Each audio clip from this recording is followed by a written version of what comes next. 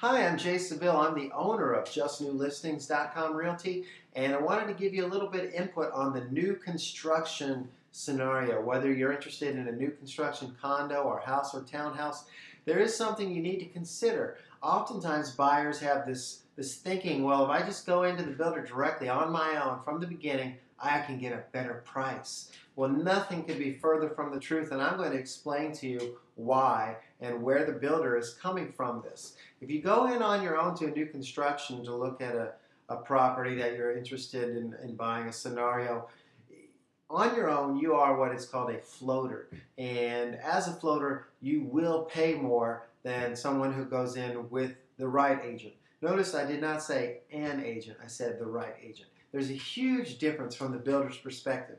And here's what it is. When you buy a home, if you're not willing to pay the price the builder wants, guess what the builder can do? They can wait a little bit longer and sell it to the next floater who will pay the price the builder wants. That's how it works. It's called the waiting game patience, and the builders know it very well and they get exactly the price they want. If you go in with the right agent next to you, you are now a completely different scenario. Because from the builder's perspective, now this is an opportunity. If you buy a home on your own as a floater, guess how many more buyers you're going to bring to the table to close transactions with to that builder? You're going to bring zero. but if you go in with a high powered agent, from the builder's perspective, ah, I want to have a good working relationship with this agent long term. I want them to continue bringing me buyers. I want them to steer buyers to me because of their good experience with me, because of how good they feel about the price that their buyer got. I want them to bring buyers to me who may not have even been focused on this location, but could be, you know, tweaked, twisted a little bit to thinking outside the box and coming to look at my property, by this uh, influential agent. So, from the builder's perspective, if you're on your own, you're just a floater, and he'll be polite and nice to you, and he'll love you, I'm sure.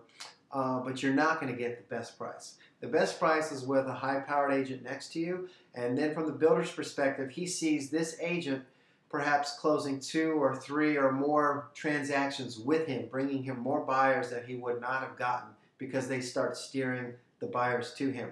And he knows the way that agent is sold on the builder as if his buyer gets a better price than the other floaters did. And that makes the agent passionate about driving people into his property, even pre construction wise.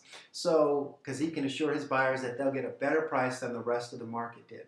That's why when you go look at new construction, do not go by yourself. That's being naked, that's being a floater. Take a high powered agent with you Think from long term, the builder's perspective, and get a lower price with the right agent with you.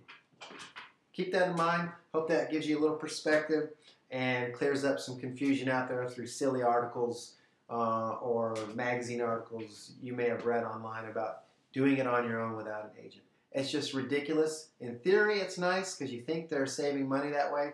That's a lie too, but that's another video. All right, have a good day.